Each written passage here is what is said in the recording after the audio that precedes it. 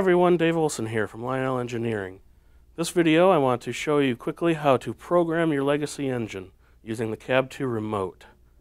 I have with me a S2 electric engine, one of our new releases, and I have my cab and base 2 here set up and connected to the track. So on the S2 electric, the hatch on top of the roof is where the switches are. So if you remove the hatch, you can see the run program switch.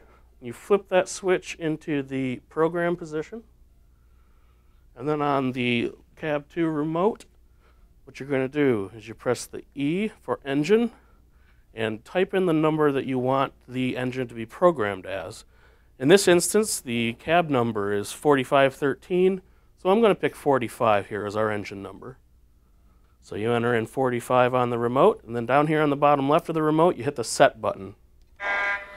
And the engine will blow the horn, or if it's a diesel or a steam engine, it will blow the uh, whistle. And then go back over to the engine and flip that switch back into the run position. And replace your hatch. And now you're ready to go to run your engine.